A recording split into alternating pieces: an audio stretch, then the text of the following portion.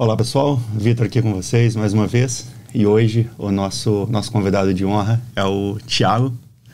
Olá turma, obrigado pelo convite, Vitor.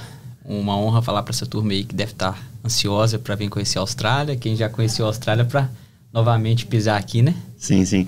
É, é uma, é uma oportunidade para a gente ter esse bate-papo e o pessoal poder acompanhar lá de fora é, de alguém que teve a experiência de vir para cá, é, correr atrás dos objetivos, alcançar os objetivos. Então a ideia é essa, é um, é um bate-papo que vai ajudar o pessoal lá fora, de repente, a traçar os, os objetivos, ter um horizonte, de repente, do que, que, que é possível ser feito aqui na, na Austrália.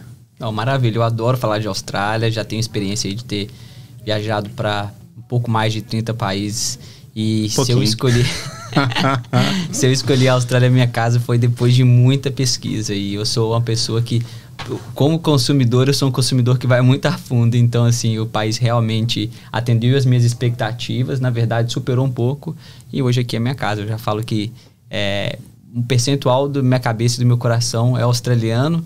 E grande parte, né, uma forma de agradecer essa terra maravilhosa que me deu muita oportunidade, não só para mim, mas como para minha família para todas as pessoas que estão no meu redor. Mas é, vamos, vamos lá então, assim, pro, pro pessoal lá de fora é, conseguir acompanhar essa, essa timeline da, da sua experiência até esse momento. É, que ano que foi que você tomou essa decisão de falou Austrália, tô indo para lá. Quando que foi que isso aconteceu? Foi em 2012. 2012? Isso, 2012 eu morava na Espanha e poxa, já era a segunda vez que eu morava no exterior, eu já tinha morado no Havaí também, aí eu fui para Espanha fazer uma faculdade lá. Aí eu falei, olha, é, realmente está um pouco nítido que eu não vou querer morar no Brasil. então eu tenho que decidir qual lugar que eu vou morar. E eu, na época, eu fazia curso de espanhol, então eu tive amigos do mundo inteiro, inclusive alguns australianos. E eu falei, olha, pelo que eu estou pesquisando aqui, os dois lugares mais abertos para poder morar vão ser o Canadá e a Austrália, que normalmente essa é uma pesquisa também, uma dúvida que fica muito entre as pessoas, né? E eram dois países que sempre tiveram políticas migratórias flexíveis, apesar da Europa ter também, mas eu não tive interesse em morar na Europa porque eu achei que era um lugar difícil de construir família. Esse sempre foi o meu norte. Um lugar que eu possa, um lugar que seja novo, onde eu possa construir família, onde eu possa comprar casa, onde eu possa ter uma vida financeira estável e onde tem um clima bacana também. Então, apesar da Europa ser um continente incrível, é, eu não me via naquele padrão de vida europeu. As Sim. coisas. Poxa, você tem muito museu, você tem muita é, praia, muita festa e tudo mais, mas não sei. É, fui, tive uma experiência incrível lá. Posso passar de férias na Europa todos os anos, acho maravilhoso, mas combinar esse fator socioeconômico com perspectiva de crescimento, e eu penso assim, 30, 40 anos na minha frente. Não sei se eu vou estar aqui. Mas é assim que eu pensei. Eu achei que a Austrália era um lugar que perspectiva seria um lugar melhor. E é engraçado falar, eu sou uma pessoa assim que é, a turma que trabalha comigo sabe que eu sou muito conservador nas minhas ideias. Eu vou pensando nos problemas. E acho que agora que eu já tenho um pouquinho mais de idade, eu já fui percebendo que isso me ajudou muito. Eu sempre falei também, se acontecer algum problema no mundo, o lugar é, é isolado, vai demorar a chegar lá. Cara, eu juro que eu pensava nisso. Então, assim, ah, pô, tomei a decisão em 2012, quando eu tava lá. Nunca vou esquecer do momento que eu tomei a decisão para chegar na Austrália em 2015. então, assim, escolhi com bastante antecedência, me programei, até mudei de trabalho no Brasil porque recebi uma proposta para ser gerente do. Mas então você estava você tava na Espanha em 2012, daí você começou já a ter essa, essa certeza da viagem, 100%. de morar fora. Mas aí você voltou pro Brasil. Voltei pro Brasil, voltei a trabalhar no lugar que eu trabalho. Até me confundi um pouquinho, pulei, né? Eu voltei a trabalhar no lugar que eu trabalhava. Tava no finalzinho da faculdade, faltavam seis meses terminei minha faculdade, o pessoal falou assim: não, você vai ser o gerente aqui do, de uma área nova do escritório, um escritório de advocacia. Eu falei, galera, quero ir embora para a Austrália. Os caras, não, a gente vai pagar o seu curso. É uma pós-graduação para você, um mestrado. Eu falei, não, eu, eu pô, pessoal, eu gosto muito de vocês, mas eu sei o que, que vai acontecer. Eu vou fazer um mestrado e depois eu tenho que trabalhar um período de anos para a empresa. Eu não tenho esse interesse. Tipo, aí na hora que eu terminar esse período de anos, vocês vão me dar um aumento. Aí eu vou ficar preso neve, aqui. É uma bola de neve. Então, assim, aí eu tomei a decisão de, inclusive, largar minha carreira de direito, comecei a trabalhar de forma independente e trabalhei na área de vendas de imóveis, que era um lugar que eu sabia que eu podia fazer uma grana alta, rápido e que poderia eventualmente me ajudar a vir para a Austrália. Foi o que me ajudou a vir pra cá. No, no Brasil você morava onde? Morava em Belo Horizonte. Belo Horizonte. Terra boa. É. É, e aí, em Belo Horizonte, quando você já estava certo, então, vou viajar, vou para Austrália e Brisbane. onde você está hoje, foi para onde você veio desde o início ou você foi para um outro lugar? Como é que foi? Não, foi para Brisbane. Eu fiquei na realidade entre Brisbane, Sydney e Gold Coast. É, tem um amigo meu que mora até em Brisbane hoje que ele falou: Não, nós vamos para Sydney. Eu falei: Amigão, calma, vou decidir. Aí Gold Coast eu tinha um receio em relação à parte de trabalho, né? Apesar de ser uma cidade incrível. E Brisbane por ser uma cidade equilibrada. Então, igual eu expliquei lá atrás, eu sou uma pessoa um pouco conservadora, entendeu? Então, eu queria um lugar que não fosse tão grande, que o custo de vida fosse equilibrado. Eu sempre me preocupei muito com o custo de vida e um lugar que tivesse facilidade de trabalho. Então, novamente, a decisão foi acertada. E aí veio para Brisbane. E aí, quando você uh, veio para Brisbane, veio. Você comentou esse seu amigo já estava aqui, ele veio com você, você veio sozinho, como é que foi? Cara, eu vim com uma galera. Então. para não sentir falta de casa, Não, para não sentir falta de casa. O meu primeiro intercâmbio que eu fiz em 2008, eu fui para Bahia, eu fui com 11 amigos. Então, é, a gente trabalhava no McDonald's, cada um trabalhava no seu McDonald's, era uma, era uma zoeira. Você que, você que fez a cabeça da assim. galera pra vir ou como é que foi? O pessoal já tem mais ou menos a mesma... Não, galera, minha galera do Brasil, todo mundo viajava bastante. Então, assim, era, era uma tarefa fácil de convencer. Inclusive, um, um outro amigo que estava comigo na Espanha também, na época, ele queria vir para cá também. Ele só não mora aqui hoje, que infelizmente é, tem uns fatores que né, mudou nossa vida de rumo. Ele tinha interesse de vir aberto igual eu vim. Só que logo antes dele vir para cá, o pai dele faleceu. Então aí a mãe dele ficou muito abalada. Ela falou assim, falou, poxa, você pode ir, mas vai por favor por um período curto. Eu preciso de você aqui. Então acabou que ele fez isso, ficou aqui, voltou. E uma vez que você volta pro Brasil também, Sim. voltar para cá já é mais difícil. Né? Ah, aí já tem que começa lá toda a estrutura e aí vai vai criando as raízes, né? Vai. Aí, mas aí vez. foi essa turma toda que veio. Veio, veio vim no total com seis, sete amigos. Todo mundo veio pra cá junto. E todo mundo Brisbane? Todo mundo Brisbane. Um deles foi pra Gold, mas assim, só a escola, porque só ficou aqui em Brisbane.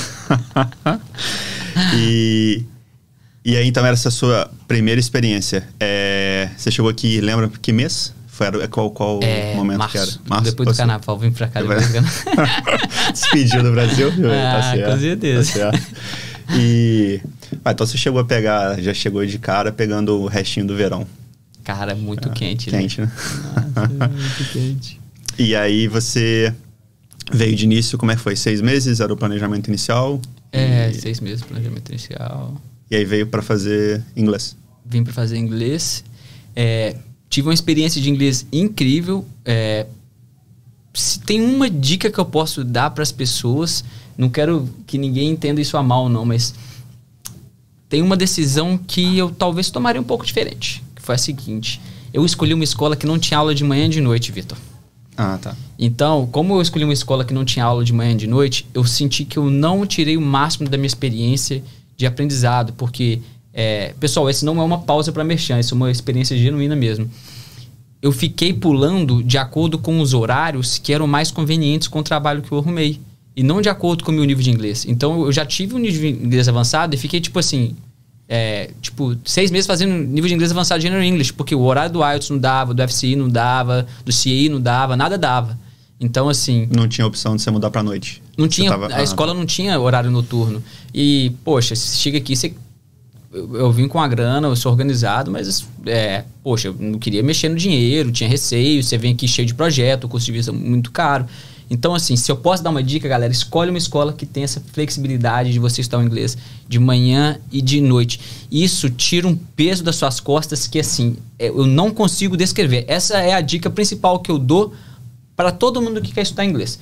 Pergunta: o seu foco é tentar trabalhar? Tá. Se você quer tentar trabalhar, não deixe de considerar uma escola que tem de manhã e de noite, porque você pode perder sua experiência acadêmica de não escolher, na verdade, de ser obrigado a escolher, uhum. entendeu?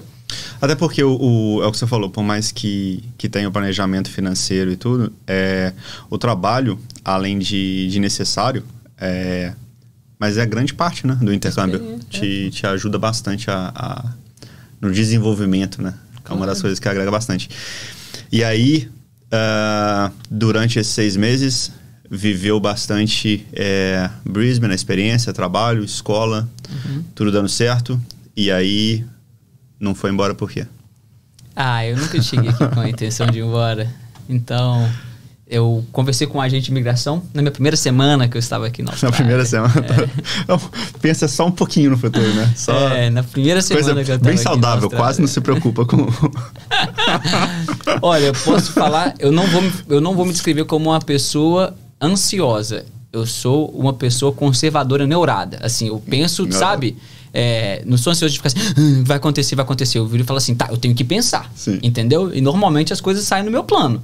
Então, assim, eu, eu, eu, tento usar isso para o meu bem. Eu acho que, assim, planejamento é tudo. Eu, todo mundo que senta é, para conversar comigo, né? Eu, eu, já trabalho nesse setor de educação também há seis anos, sou responsável por todos os escritórios de uma agência é, aqui na Austrália, no caso da Hello Austrália. Eu não estou fazendo mexendo da Hello Austrália também. Eu sei que o, o vídeo é para todo mundo, tá, pessoal? Mas só para compartilhar essa minha experiência de conversar com as pessoas para vocês.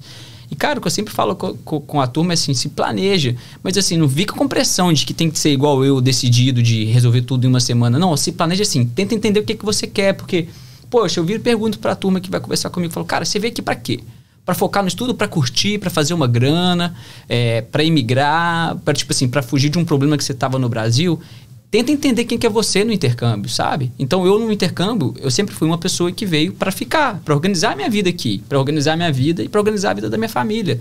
E quando eu falo família, não estou falando que eu mandei dinheiro para minha mãe do Brasil, sei que isso acontece com muitas pessoas, mas é, eu sempre tive sorte de ter uma família com uma condição estável. Então quando eu falo organizar minha família, é o Tiago, chefe da família, responsável pela família dele. Eu sou casado tem muitos anos também. Então assim, como que eu e minha família, a gente poderia se estabelecer aqui. Então, esse que foi que me moveu. Desde o dia 1 um, na Austrália, sempre que me moveu foi isso, sabe? Então, é, se você quer vir para a Austrália mesmo, tenta entender quem que você, o que que te move, qual que é o seu combustível. É lazer? É festa? É inglês? É imigrar? Decide isso e não fica pulando de galho em galho, porque aí você vai perder tempo. E uma coisa que a gente que a Austrália te cobra aqui é tempo. Você recebe por hora, mas você paga por semana todas as suas contas, então o tempo que vale muito. E o, isso que você falou é importante, né? Porque cada um pode ter um objetivo e não tem um certo ou errado, né? É, Mas claro. a partir do momento que você sabe o que, que você quer, uhum. você vai conseguir fazer aquela estrutura para alcançar aquele objetivo. Tem gente que vem para cá já com... É, às vezes eu converso com, com, algumas pessoas e a pessoa fala, olha, eu vim e daqui a sete meses eu quero estar de volta. Claro. E assim, ela vai fazer todo o processo dela, vai aproveitar ao máximo e sete meses ela tem a data para voltar. Ela pegou uma licença, alguma coisa, e é o que você falou, tem gente que quer vir e quer ficar. É, aqui você você vê assim para as pessoas que de repente estão pensando nesse momento é, querendo ou não é difícil você largar é, as raízes né para fazer um intercâmbio é que você já tinha essa experiência que você falou de ter morado fora mas uhum. vamos supor tem gente que às vezes é, não morou não teve essa experiência de intercâmbio ainda é a primeira vez que vai estar fazendo é, se você tivesse que dar uma, uma resumida qual você acha que são os maiores vamos dizer, as dores de barriga, né? Quais seriam as maiores dores de barriga que, que, que aparecem e como que a pessoa, de repente, consegue lidar com isso da melhor forma para continuar atrás do, daquele objetivo inicial? O que, que você acha, assim, de... Hum. É, a gente vê... Tem as opções, por exemplo, eu escuto às vezes... Um, tem a parte saudade da família, tem a parte adaptação de ter que dividir casa com pessoas, tem a parte de alimentação. Tem gente que às vezes sente muita parte da, da comida. Quais seriam umas dicas assim para quem está lá fora preocupado? De repente, ah, não sei se, eu, se vai dar certo. O que, que você acha que elas devem uhum. ter em, na cabeça assim para ver? É. Cara, por mais que eu trabalhe nesse ambiente de intercâmbio há tantos anos, Vitor, eu às vezes eu me sinto como um outsider e eu tento fazer esse exercício de pensar com a cabeça das pessoas e desacelerar um pouco, porque minha cabeça assim, poxa, você vai falar comida. Cara, apesar de eu respeitar isso, eu acho isso. Eu, eu estranho, eu falo assim, saudade da comida. A gente, a gente vive num mundo globalizado. Tipo, o que você quiser comprar aqui, você vai comprar. Então, tipo, sabe, farofa. A própria escola aqui tem um, tem um, um mercado de, de comidas Sim. internacionais embaixo. Ah, gosto de farofa, compra farofa. Ah, eu gosto de cozinhar um, um picanha. Tem picanha aqui, mais barato que no Brasil, sabe? Tudo tem. Então, assim, eu elimino, comi eu elimino comida de, de antemão. Acho que é, se você tem, gosta de comer bem, então vai aprender um pouquinho a cozinhar, senão aqui você vai aprender a cozinhar. Saudade da família é algo que não muda. Isso aí você vai aprender a conviver ou isso vai te vencer. Então eu acho que os dois maiores desafios que você vai entender aqui vai ser definir seu objetivo, que é um, algo muito difícil, e também você conviver com a saudade da família. Eu hoje tenho muita saudade da minha família, obviamente, mas assim, eu já tenho essa experiência de morar fora há muitos anos, então eu faço parte da minha família da forma que dá. Então eu converso com minha mãe quase todo dia, eu faço ligação de vídeo, eu mando presente em todo aniversário, eu mando flor no dia das mães, eu converso com ela, faço parte dos problemas dela, das minhas irmãs. Então, assim, é, muitas vezes as pessoas acham também que você tá próximo dos outros é só morar a uma distância menor. Eu garanto para vocês que eu sou muito mais próximo da família do que muitas pessoas que moram no Brasil e meu pai quase nunca, não converso com o pai quase nunca. Eu converso com meu pai, assim, conversas profundas, com minhas irmãs a mesma coisa, sabe? Faço questão de ligar para meus amigos para saber como eles estão e eu não espero que ninguém faça isso por mim. Porque eu sempre tive na minha consciência de que, poxa, é, muitos intercambistas eles brigam com isso. Eu parei de falar com a turma do Brasil porque eles não me procuravam. Falam, cara, você que mora fora, sabe? Assume essa responsabilidade e tem essa evolução até mesmo espiritual de que você tem que correr atrás um pouco dessas pessoas para saber como elas estão e mostrar esse carinho por elas. Então, essa, essa parte de saudade da família eu sinto muito, mas assim, eu tento estar o máximo presente da vida deles. Então, saudade da família e você se descobrir e saber lidar com a sua ansiedade. Eu sei que fugi um pouco do tema, assim, mas eu abri. Não, não, é, é importante. É, cara, é, é, isso. Então, assim, saudade da família, você vai sentir, fato. Tenta estar o mais próximo possível, tenta ocupar sua cabeça com coisas bacanas. E tente no intercâmbio o, é, o ultimate goal, né, Vitor? Como é que a gente pode falar, traduzir isso? Seria o seu, seu objetivo final? É, acho né? que sim, né? O que você quer alcançar no final? É, assim, é, é, isso. O objetivo final do intercâmbio na verdade, para a maioria das pessoas, igual a gente falou, cada um tem o seu objetivo, mas geralmente é evolução. As pessoas querem se tornar pessoas melhores, querem buscar algo melhor para a vida delas. Então, é, tenta lutar a favor desse objetivo, de você se tornar uma pessoa melhor, de você ser um ser melhor para o meio ambiente, para sua família, para você mesmo e ter uma vida mais feliz. E você, mencionou que você é casado há vários anos. Então, você veio para cá já com, com a sua esposa? Ou Vim. já veio para com a sua uhum. esposa? Uhum. E, então, obviamente, é, se ela não, não fosse espanhola, porque você morava na Espanha antes, sua esposa é brasileira. Isso. É, esse... Tem um, uma coisa que, que eu observo, tem às vezes um, um, um mito por trás disso, de gente que às vezes, quando escuta a palavra intercâmbio, a primeiro trigger que dá nela lá fora é assim: vou fugir de brasileiro. você que veio já com a sua esposa, né? Ou seja, é. você já tava, já teve ali.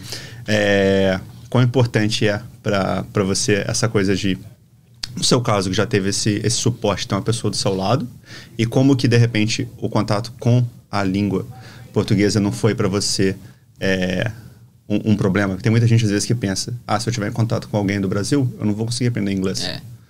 o que que você tem a dizer?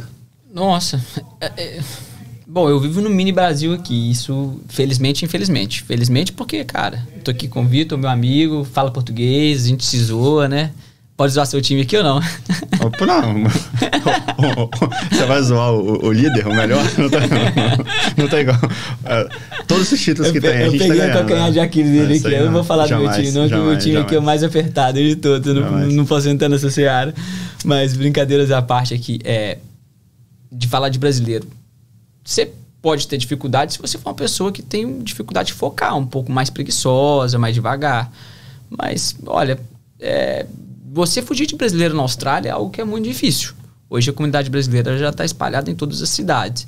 Então, é, você escolher uma escola igual a International House, tem outras escolas bacanas aqui em Brisbane também, que eles têm um mix de nacionalidade legal. Então, assim, conversar com a turma lá do Brasil, que está te auxiliando na escola do seu intercâmbio, ver esse mix de nacionalidades e tentar procurar trabalhos em coisas diferentes. Eu, particularmente, não tenho preconceito nenhum com o trabalho de cleaner, já fiz trabalho de cleaner aqui, mas para mim o que mata não é o problema de conviver com brasileiro, é qual o tipo de sociedade que você se envolve. Então, se você faz um trabalho de cleaner que é da gangue brasileira, que oportunidade de dinheiro bacana, trabalho bacana, mas você só mora com brasileiro. Sua classe majoritariamente tem brasileiro. Você trabalha com brasileiro e você não lê nada em inglês, infelizmente, você não vai conseguir evoluir. Eu, particularmente, moro com brasileiro, trabalho com brasileiro e latino, falo português 99,9% do meu tempo, mas eu só leio em inglês, eu escuto podcast em inglês, eu é, aprendo música em inglês. Então, assim, estudei, já fiz duas faculdades aqui, eu nunca parei de estudar língua. Se eu parar de estudar língua, eu não vou desenvolver, porque tem os lados bons de estar envolvido na comunidade brasileira. Então, É, é, é o equilíbrio, de novo, é equilíbrio. Até porque muita da, do, desse suporte inicial, tanto é, em busca de trabalho e psicológico, etc., acaba vindo da É, própria raça, né? Com certeza. É o brasileiro ajudando o brasileiro. É, é, eu escuto isso às vezes, eu falo com o pessoal, é, eu divido dessa, dessa sua opinião. Eu acho que o importante é você ter o, o- um balance, né? Não é, não deixa de frequentar outros ambientes, porque não vai ser português, entendeu? Claro. Mas ao mesmo tempo eu acho que faz uma, uma diferença considerável no intercâmbio você ter pessoas que dividem a mesma cultura sua durante o processo, a gente ajuda nesse Com certeza. né, nos challenges que vão aparecer, que são É. vários. Não, são vários. e não tem. Eu, eu falo assim, o, Vitor, todo preconceito ele é burro. Sabe? Desculpa a franqueza da palavra. Mas não fica com essa história de que, ai, é, você pode cair do cavalo. Porque quando a gente. Eu nunca vou esquecer de alguns fatos assim de. Tem alguma, algumas cenas que foram marcantes aqui. na- sempre tive experiências maravilhosas com o brasileiro, mas eu sei que. te- quando eu cheguei aqui na Austrália, você sempre algum, tem algumas frases que elas te marcam, né? Eu vou tratar de um trauma meu aqui. Tem- eu acho que eu nunca nem conversei com ninguém, só que a minha esposa disse: tem uma, uma, uma pessoa que eu cheguei aqui na Austrália, tinha chegado duas semanas antes de mim, e a pessoa que tá duas semanas antes de você, ela quer te explicar como é que o país funciona, né? E aí ela me viu assim e falou: Não, mas é porque no Brasil falava inglês, falava aqui, não vou conviver com brasileiro, não vou conviver com brasileiro. Nossa, bacana, né? Que eu vim pra ficar. Vocês- daqui a pouco vocês vão voltar, eu vim pra ficar. E sempre falava isso. Eu vim pra ficar, daqui a pouco vocês vão voltar. Eu falei, gente, ela nunca me perguntou de mim. Toda vez ela fala dela. Ela fala que não convive com brasileiro, que ela veio pra ficar. Eu não tô entendendo. Passa anos, eu vou na festa de aniversário que só tem brasileiro. E de novo, ela perguntando pra gente sempre quanto que a gente ia embora. Eu falei, gente, qual, qual é da, dessa pessoa, assim? Ela tá, tipo, me agorando, alguma coisa assim? Ela tá querendo se... Moral da história, ela sempre teve esse ranço com o brasileiro. Inclusive, depois eu vi ela mudar o nome dela, tipo assim, cortar a segunda metade final do nome dela pra aparecer mais de inglês.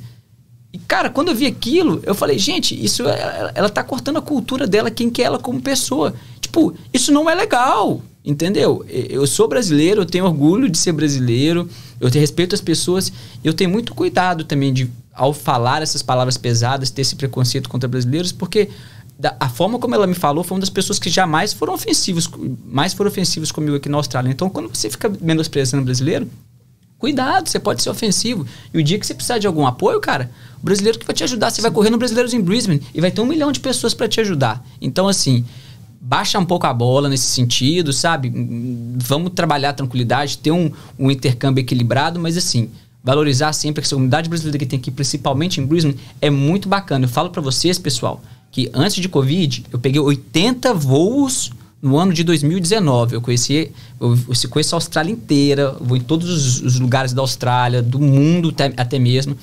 Comunidade brasileira que a gente tem em Queensland, em Brisbane, é uma comunidade muito madura, são pessoas humildes em sua maioria, pessoas bacanas, muitas mães que vieram para cá emigrar, sabe? É uma comunidade muito supportive e todos os meus amigos que vieram de Brisbane, de outras cidades para Brisbane, quiseram morar aqui, alguns inclusive vieram morar aqui por conta da vibe dessa comunidade. Então, assim, é um, é um fator decisivo e é algo que vocês têm que tratar, assim, com o coração aberto, buscando melhorar o inglês, mas nunca desmerecendo a comunidade brasileira, não. Importante, importante esse, esse conselho. Para você mencionou durante é, desde o início, eu vi que você sempre deu esse essa importância ao ao projeto família, né? Você falou de não só a sua família no Brasil, mas a família que o Thiago queria desenvolver quando veio para cá. E, e hoje que você está aqui, é, você já tem essa, essa família, né? Tem seu, seu pequeno, né? O Lucas. E como que está sendo essa experiência de poder criar o seu filho na Austrália? Ah, maravilhosa, né? Poxa, você também é pai aqui, você sabe que é, ter um filho no exterior tem alguns lados que são um pouco challenging, mas, pô, overall, é maravilhoso. A Austrália é um país família. Então, assim, igual eu falei, em 2013, 12, quando eu resolvi vir para a Austrália, eu pensei nisso e a Austrália realmente é um lugar muito bacana, muito parquinho, muita tranquilidade, o seu filho é criado um pouco mais solto. Então, assim, é, é para um pai é, é uma tranquilidade grande você saber que seu filho tem certas garantias aqui e de que você como pai também você tá tem muitas atividades para você fazer. O final de semana é muito maneiro aqui, Sim. né? Pô, tipo, vai chegando assim hoje, por exemplo, hoje é quarta que a gente tá gravando o vídeo aqui, né? Cara, eu já vou chegar em casa assim, tá, quarta noite, amanhã já é quinta. assim, você já, sabe? Você já sexta-feira então fica igual um cachorro. E no sábado, meu amigo, eu já acordo, vou na academia cedo, na hora que eu já volto, já pego, boto debaixo do meu braço e falo, não, agora Tadinha, desmaia. Isso é, isso é, chega em casa acabado. Não, né? desmaia, porque assim, é muita atividade, né? É muita coisa para fazer. O país é muito construído para isso, né? Para você poder ter uma experiência de família. É muito, são muitas opções é, na abertas, né? Que você não é. tem que estar tá dentro de, de, um lugar fechado. São, são, como você falou, são muitos parques e a gente tem a, a, aqui perto de Brisbane a chance de ter bastante opção de praia. É, né? Tem praia em tudo quanto é lugar pra, pra... Tem tu, parque, né, cara? Eu acho que qualquer, a besteirinha que você faz, você sai de casa na minha frente, na frente da minha casa, um bairro que não tem assim, nada demais, mas tem um parque na frente da minha casa, dois quarteirões tem outro parque, e joga a toalha lá no chão e bota ele pra comer grama. Hum, é, sabe, você não precisa de muito, né? É, é tudo muito simples, né? Sim. Tipo, você aprende a, a fazer programas simples. É. Essa, essa coisa que você falou agora é legal. É, para quem está lá fora, é só vivendo aqui para poder ter esse tipo de, de vivência. Você, você usou essa palavra simples. É, você viu essa diferença de estando aqui na Austrália, que todo mundo tem acesso a tudo, todo mundo tem acesso ao mesmo tipo de, de educação, de lazer, de é. restaurante, de você poder fazer, todo mundo poder fazer a mesma coisa? É, não tem diferenciação. O médico compra o iPhone quando lança, o cliente também. Então, assim, é claro que o médico ganha mais. Sim. Mas o iPhone não vai ser o diferencial na vida deles. Então, assim, agora, essa op opções de lazer e tudo mais aqui, é tudo muito simples, cara. Então, e outra coisa, bens de consumo aqui tendem a ser mais baratos, não só quando você converte, mas relacionado à renda que você tem também. Então, entrando nessa seara aqui da, da parte da, da, da, da família, né? Cara, você vai comprar uma fralda, não é barato, mas assim, não, você não passa ali a fralda, tipo, Sim. nossa, gastei. Não dói, né? Não dói. Aquela... Quando você troca cinco em um minuto. Ah, é. E aquela, aquela girafinha que todo mundo tem no Brasil, né? Sim. Aquilo ali é uma besteira aqui, pô. Vamos comparar. Aquilo ali é o preço de seis cervejas. Uma girafinha que seu filho vai morder não sei quantos anos. Sim. Entendeu? Aquela girafinha no Brasil, 230, não é? É cara, é cara. É, a girafinha. No, no, você já você foi no Brasil desde que o. Não, não fui. Você nasceu? Não. É, então, quando você. Né, torcendo aí para as coisas voltarem ao normal, abrir as fronteiras e tudo, é, você vai perceber como que coisas para criança lá é, é puxado o valor. Não, eu fui e... comprar um baldezinho, aquele furozinho lá, que a gente comprou no Kmart 2 dólares, mandei comprar lá para uma amiga minha que vai ter 80 reais, amigão. É cruel. Tipo... É cruel. Isso, isso é uma coisa que, que eu percebi que também. Essa, essa, essa coisas para criança, o Kmart é não, sucesso, né? E não, não tem negocinho de roupa de marca, não. Você compra 30 ali, bota, a criança Sim. troca, daí depois você dá a sacola pra criança outra, de outra mãe que vai nascer. E, e é muito legal aqui, porque, ah, mas vocês tiveram filhos sozinhos. Poxa, a gente teve.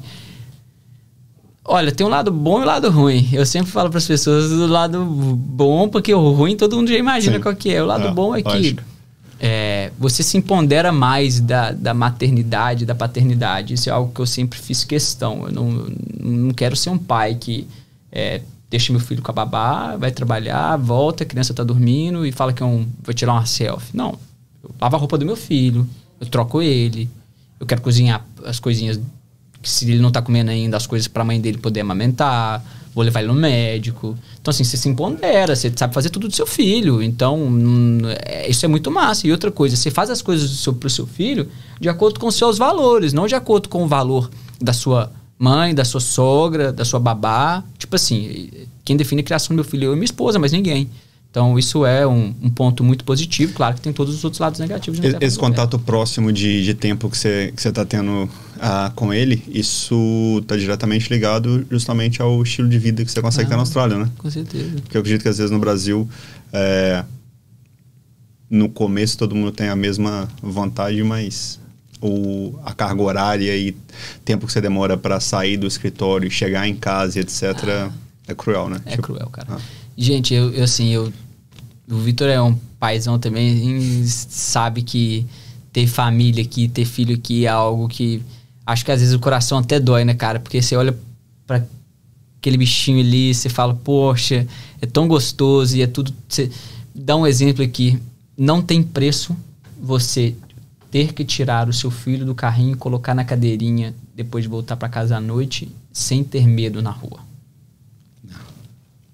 Isso, para quem é pai, não tem, não, não existe. Eu moro, morava em Belo Horizonte, pode falar que ah, a região que mora é boa. Não, você vai sair da casa da avó, vai descer. Não tem como. Você não vai jogar uma criança dentro do carro. é um processo. Ele vai chorar, vai Faz uma mudança, né? Faz uma... É uma mudança. Tem três, quatro sacolas, entendeu? Aí, do, aí, de repente, às vezes, poxa, esses dias, acabei de colocar ele lá, tá bonitinho, só que fez aquela explosão de cocô. não tem como chegar em casa. Eu abri a porta-mala, botei ele lá era de noite. Então, assim, isso não tem preço, sabe? A gente sabe que no Brasil existe uma vida maravilhosa, mas são essas coisas pequenas da vida. É, é, é, é, uma experiência de vida, de construção de família, pessoal, muito mais leve. Eu não vou ser leviano de falar para vocês, ah, Tiago, mas como estudante eu vou ter uma vida que você está descrevendo aí. Talvez. Não muito, porque você tem que ter uma estabilidade para ter isso. Então, assim, volta ao início da conversa, planejamento. Quer construir uma família aqui? É importante você estar estável, ter um visto de trabalho, ou ter uma residência permanente, ou ser cidadão, alguma coisa assim, para você poder também ter pouco mais de tranquilidade, porque senão você paga a escola do seu filho, paga a sua escola, paga o plano de saúde, vai pagando um tanto de coisa que vai te dando um estresse um que a experiência vezes fica um pouco mais difícil. Mas mesmo os estudantes que têm filhos aqui, ontem foi, foram dois casais que têm filhos lá, cara, felicidade estampada no rosto da pessoa. Né? É, pô, minha mãe tem quatro filhos, todo mundo no Brasil ia 30, 40 anos atrás, você tinha filho, era com 21 anos de idade, não tinha onde cair morto, e vai tocando barco, vai pegando uma madeira de um pro outro, passa roupa de um pro outro e vai vivendo. Só que aí talvez você vai ter um pouquinho mais de dificuldade de enfrentar uns desafios um pouco Sim, é o que você falou, aqui, aqui fica puxado, é, logicamente, né, a rotina para os pais que vêm para cá para estudar com o filho, mas é proporcionalmente no Brasil eles trabalhavam 24 horas por dia, chega aqui, é. vamos supor que ele trabalha 24, 24 horas por dia. Mas durante o processo, ele ainda está conseguindo dar uma qualidade de vida para o filho é, bacana massa. durante todo aquele, aquele processo, né? Com certeza. Eu, eu acho que é, é, isso de, do intercâmbio você conseguir desenvolver o que você falou. Você, você buscar seus objetivos, tornar uma pessoa melhor, né? O que você falou do focar no seu objetivo final. Porque ficando aqui vai ser bacana. E se você volta, você volta uma pessoa melhor, consequentemente, você melhora as pessoas ao seu redor, né? E que é o, o acho que o, o, bacana seria a gente conseguir que, né, a, a, a, longo prazo aí, a gente tivesse o Brasil mais parecido, mais é, parecido com a Austrália possível, né? É. Esse seria. Porque assim, se você for ver hoje, cara, é questão de povo brasileiro, né? É sensacional. Clima, e, é top demais. E, você, e, clima e etc. Tem tudo, tem tudo. É. Então, quer dizer, eu acho que é só esse, esse processo aí que a gente tem que. Quanto mais gente tiver acesso a viajar, a fazer intercâmbio, a conhecer coisas, a ver que existe né, um outro mundo, a pessoa poder voltar e, é. e ajudar e desenvolver o próprio país. Mas, é, mas a ideia é essa. A ideia do, do nosso bate-papo hoje era. É porque você comentou de ah, não dá pra pessoa chegar aqui e falar assim, ah, beleza, eu vou chegar aqui então, então peraí. Eu quero ter o mesmo estilo de vida que o Thiago tá tendo, porque ele me falou isso, então peraí, vou te cobrar por isso agora.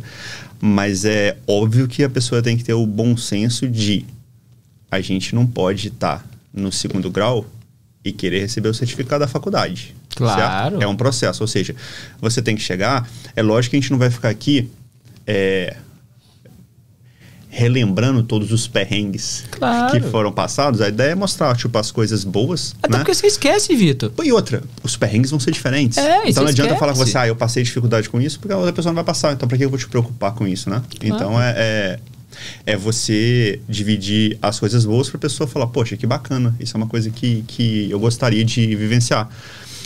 Porque é possível? É, mas cada um vai ter seu caminho. É, tem gente que consegue fazer, tem gente que no meio do caminho acha que não vale a pena. É, para o pessoal, pessoal que está agora nessa, nesse momento final ali de, né, vou ou não vou? Bate aquela, aquela duvidazinha ali. É, qual é uma qual a sua experiência de um cara que já tinha vivido de a experiência de intercâmbio antes, a sua experiência de uh, ter vindo para cá como estudante, a sua experiência de ter trocado a sua profissão inúmeras vezes, até mesmo no Brasil, por um objetivo maior, quando foi preciso, uh, a sua força de vontade aqui, já pensando, pô, um dia eu quero ter uma família, então eu quero alcançar isso, eu quero fazer isso. Então, assim, toda essa experiência que, que você viveu é, nesses últimos anos, né, que é que a gente brincou esse negócio de tempo, que você falou, nossa, parece que você viveu durante esses anos uns 30 anos, né? Porque aqui o negócio é, é né? intenso. É aqui é intenso. Então, qual seria, assim, baseado em tudo isso que você tem e a sua experiência profissional de, de você já teve a chance de se envolver em, em vamos dizer, sei lá, milhares de vidas, é, diretamente ou indiretamente, né? E, e cada pessoa que a gente consegue fazer uma diferença ali já agrega para a pessoa, mas agrega para você, porque claro. é uma experiência que você conseguiu fazer parte dela. Então, assim, se você pudesse dar uma, uma dica para o pessoal que está lá fora, nesse momento agora pensando em intercâmbio, para um cara que veio e de, saiu de uma zona de conforto, que você poderia estar tá já tranquilo, trabalhando, fazendo mestrado, pago pela empresa e tudo, veio para cá, resolve, escutou é, pessoas perguntando quando que você ia embora. Faz parte do processo, né? Faz. Para o cara que passou por tudo isso assim, uh, qual seria uma, uma mensagem que, que você pudesse passar para o pessoal aí que está nesse momento na, naquela dúvida?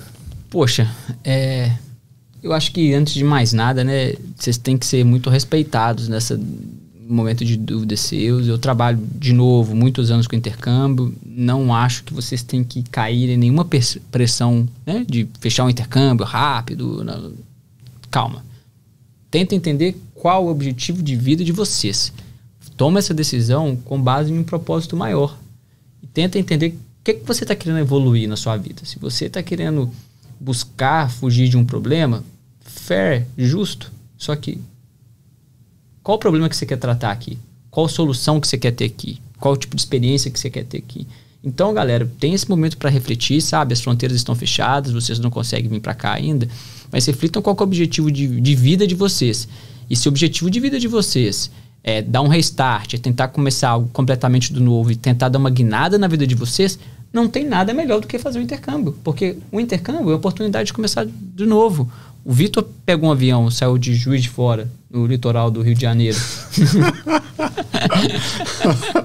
essa, essa, foi é, boa, essa foi boa. Pegou um avião ali em Juiz de Fora e veio aqui para Brisbane.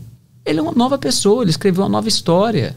Então, se você quer escrever uma nova história, o intercâmbio ele é uma oportunidade maravilhosa.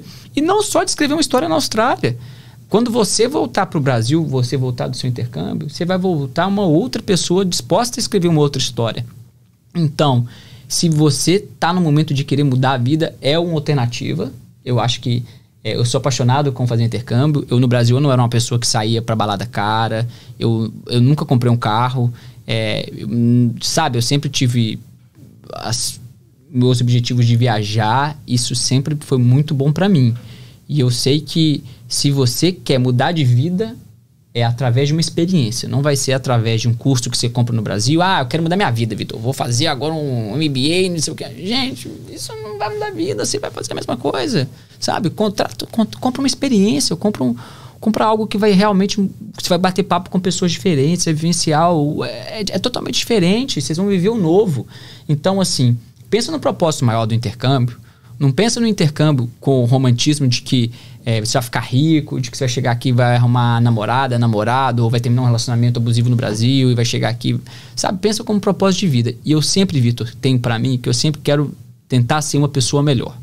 Então, todos os dias eu penso como que eu posso ser um pai melhor, sabe? Eu fico muito triste quando é, eu vejo que eu poderia ter sido um, um chefe muito melhor, um agente de educação muito melhor, que eu poderia ter um parceiro comercial muito melhor e eu não me esforcei para aquilo. Então, veja qual o objetivo que vocês querem ter e definam que que, qual tipo de evolução que vocês buscam na Austrália. Aqui tem para todo mundo, para quem quer ganhar dinheiro, para quem quer beijar na boca, para quem quer fazer festa, para quem quer é, curtir, melhorar o nível de inglês, para quem quer fugir de um problema, para quem quer viajar. Eu já viajei a Austrália inteira, todos os países da Ásia aqui. Então tem, tem para todo mundo. Então, assim, só não demorem muito para vir, porque eu, quando a gente está vivendo uma vida adulta, eu brinco com meus amigos que é o jacaré. Sabe aquele jacarezinho da Lacoste? Hum. O jacaré, ele vai te morder. Então você vira e fala assim, vou fazer daqui a 3, 4 anos. Daqui a 3, 4 anos, você tá comprando um Celtinho ali daqui ano que vem, que vai, você vai pagar o Celtinho em 4 anos. Então não tem como. Aí você vai ser promovido na empresa. Aí aquela, aquele namorado que você tem há 3, 4 anos, que o relacionamento já tá meio xoxo, o cara vai dar aquela cartada final ali, ó, do casamento. Então, assim, sabe, não, não postergue o seu, o seu desejo de evoluir. E tente vir para cá assim que possível, que realmente você vai ter uma experiência incrível. Bacana. É, é isso, pessoal. Uh, a ideia hoje foi dividir com vocês um pouquinho essa, essa experiência aí do, do Tiago. Como, como ele falou, é, não é um mar de flores, tudo é maravilhoso, tudo é perfeito. Tem os desafios, mas se você mantém o seu foco, se você sabe o que, que você quer alcançar e corre atrás disso, né, é possível. Nós temos, é, como você disse mesmo na, na comunidade, é, milhares de, de, histórias de pessoas que vieram e deram certo e tem milhares de histórias de pessoas que vieram e deram certo. Ou seja, uhum. é possível, é, é, fugir desse... Ah, antigamente era mais fácil. É, né? Porque, tipo, sempre no, vai ter alguém no futuro que vai falar antigamente era mais fácil. Então, é. se hoje para você se acha tá difícil, lá na frente vai ter gente que vai falar que o hoje seu era fácil. Então, é, é cada um é, encarar o, o desafio seguindo essas essas dicas que, que você deu. E não acredita nisso do que hoje, antigamente era mais fácil, não? 30 segundos aqui, ó, só para falar um pouquinho de, de, de que era mais fácil, de migration, que por exemplo, que muito se escuta muito isso. Gente, quando o Vitor chegou na Austrália aqui, é, eu digo o Vitor porque ele chegou no, no período mais difícil do que o meu. Era inglês, duas, três escolas você podia escolher, duas, três escolas de vocacional, não tinha plano de parcelamento, é, você tinha que ficar renovando visto a cada seis meses, não tinha se você fazer universidade, não tinha informação, não tinha GPS, eu cheguei aqui não tinha GPS, não tinha nada. Então, assim, hoje você vai ter algumas dificuldades, mas também tem inúmeras facilidades. A informação que tem à disposição de vocês, ela transforma o intercâmbio em algo muito mais fácil. Meu primeiro intercâmbio não tinha nem celular, eu não sabia que era ter celular. Então, hoje em dia, você tem uma quantidade de ferramentas que facilitam o seu intercâmbio, sua adaptação, e até mesmo pessoas que nem têm tanto perfil de intercambista, que era no início do intercambista era o desbravador, a pessoa que botava, falou assim: agora eu vou com tudo, vou transformar minha vida e vai ser um perrengue até de perrengue, daqui a três meses eu ligo para minha mãe. Não, hoje em dia o intercâmbio qualquer pessoa pode fazer, porque tem tanta informação que você vai ser guiado para aquilo ali. Então, não cai nessa de que antigamente era mais fácil, não. Cada época tem a sua dificuldade, e até mesmo se você quer imigrar para cá, que fica essa desculpa de que antigamente era mais fácil, hoje em dia tem caminhos que não existiam no passado. Os caminhos que existem, é, eles, eles vão, na verdade, usar o exemplo que o meu advogado de imigração me explicou: torneirinhas. Pensa assim: você fecha uma torneirinha aqui, abre outra torneirinha aqui. A Austrália tem uma necessidade de estudantes por estudantes internacionais, por imigrantes, por pessoas para fazer esse país crescer. Nós somos um pouquinho mais de 25 milhões de pessoas no, no país do te, do, que tem o tamanho do Brasil. Ah, Tiago, mas a Austrália não tem água. É, a Austrália não tem água no deserto, mas a Austrália é um país que precisa de crescimento populacional para ter um mercado consumidor mais forte e para, inclusive, questões de estratégia de defender de países muito mais populosos que moram perto. Então, a Austrália vai, vai, vai precisar de vocês, ou como para estudo, ou como imigrante, e chegando aqui, eles vão querer que vocês fiquem se vocês forem pessoas qualificadas e construam uma família. A história é essa, simples. e é o que você falou, uma, uma, coisa muito importante. Hoje você tem acesso à informação. É, acabou. Você tem acesso à informação, uma coisa que com celular, com tudo, é, os desafios são diferentes, mas você consegue pelo menos saber o que está acontecendo. Antigamente a gente ficava um pouco, às vezes, que quando você descobrir que alguma coisa aconteceu, mas já aconteceu faz tempo. Isso. E aí que você ficava sabendo que. É, hoje você pega o celular, você joga o endereço da onde você conseguiu um teste para trabalho, ou de onde você vai trabalhar. O celular te mostra como é que chega lá. Vai ter uma dúvida, como é que fala com a palavra em inglês, você joga no tradutor. Beleza, cara. Quer falar com a família? Você falou o contato com a família. Todo. Faz uma, uma videoconferência é, você falou isso, eu lembrei rápido. Foi... Cara, eu tinha que pegar orelhão público. Ah, amigão. Aí tinha um cartãozinho Carnivale, você jogava lá, de, uhum. rasga, é, raspava, pegava o númerozinho da senha, aí você ligava pro Brasil. E aí você falava com crédito do cartãozinho, quando acabava, acabou. Então, assim, a única forma de comunicar não tinha você, parabéns, não, Vitão. Você não dava parabéns pra sua mãe, não. não. Você ligava. No, é. Você ligava e falava, oh, parabéns. Quantos computadores vocês tinham aqui há 15 Sim, anos atrás? Tipo, Três, ah. quatro? Hoje em dia, gente, assim, não acredita que nessa, nesse papo, não. E outra coisa, pessoal, venham com a cabeça aberta. E eu vou tomar um, os últimos instantes aqui para valorizar o trabalho dessa turma aqui, que é da LS International House.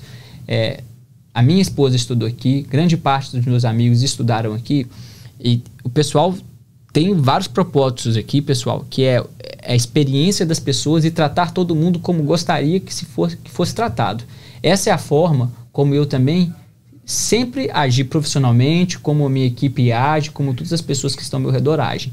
Vocês têm que buscar agências de intercâmbio que tem números no Brasil com trabalho incrível, escolas que também, mas com esses valores de tratar vocês com decência e de tratar vocês como que você ver se o vendedor, se a escola trata vocês da forma que você gostaria que fosse tratado, se você estivesse no lugar deles. Então, ética, corretamente, passando informação acurada e dê uma oportunidade para essa turma aqui, porque é aula de manhã, aula de noite, um campus lindo, um pessoal extremamente bacana, profissional. O Vitor trabalha aqui há mais de 10 anos e são pessoas que não vão decepcionar vocês, com certeza. Eu vou dar um, eu vou dar um corte nesse, nessa parte aí. valeu, valeu, obrigado pela, pelas palavras. Mas é, mas é isso, é igual a gente, a gente falou. A ideia é, tirando isso que, que foi falado, querendo ou não, faz parte da, da nossa vida, então acabou saindo, mas a ideia é isso. É, para quem está assistindo, esquece a nossa parte profissional, foca nessa na experiência da, da vida que foi que é uma coisa sincera. É uma coisa que a pessoa chegou, passou por tudo e quando vocês chegarem aqui, correu atrás, tá fazendo virar, tá seguindo os bons conselhos, estamos aqui. Estamos aqui para poder dividir essa as vitórias com o pessoal que vai vir. Com certeza. É isso aí, turma. Um abração para todo mundo. Até a próxima. Até aí. a próxima. Valeu, tchau, tchau.